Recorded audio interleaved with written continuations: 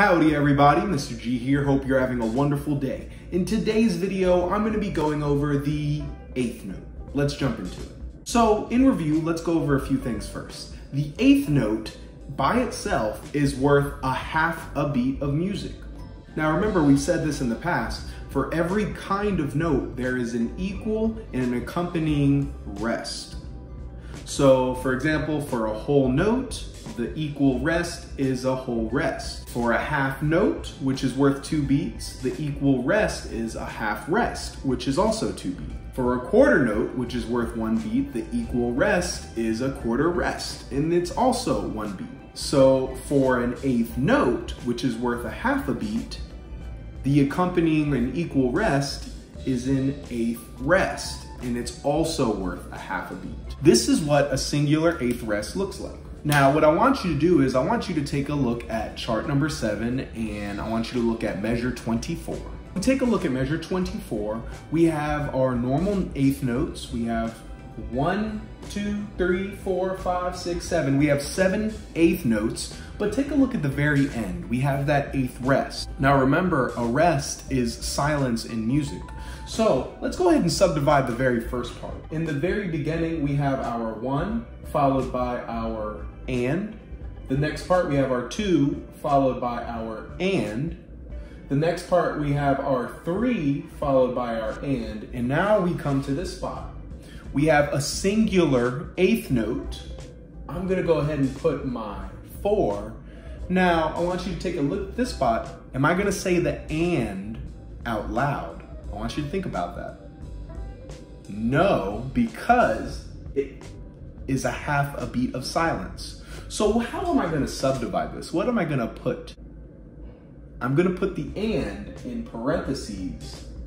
I'm also going to be making it small. So go ahead and take a look at measure 24.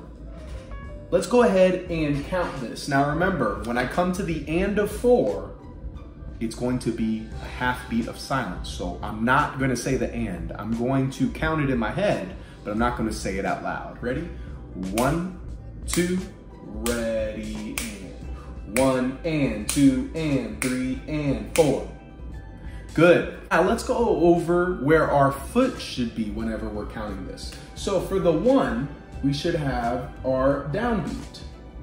The and should be our upbeat and so on and so forth. I'm gonna go do one and two and, okay? And I can do three and, three's down, remember our numbers are down, and the and, our foot is up. I should put a down on four because it's a number, but take a look at the and. Remember, what I, where's my foot always on the and? It's always up.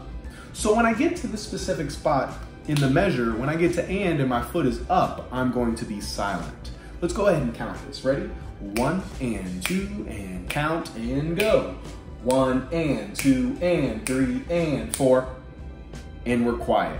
Now, let's go ahead and take a look at another example, measure 25, where it looks like the eighth rest is moved. Now, taking a look at this spot, I move the eighth rest over another half beat, and I've moved the eighth note to the other beat. So let's go ahead and jump into measure 25. So we have our one and, two and, three and. Now, when we get to beat four, now we have the eighth rest on beat four. So what I'm gonna do now is, since my eighth rest is on beat four, I'm gonna make a small four. And what am I gonna put for the eighth note? A big and. Now let's go ahead and look at where my feet should be. The down should be down on one because it's a number.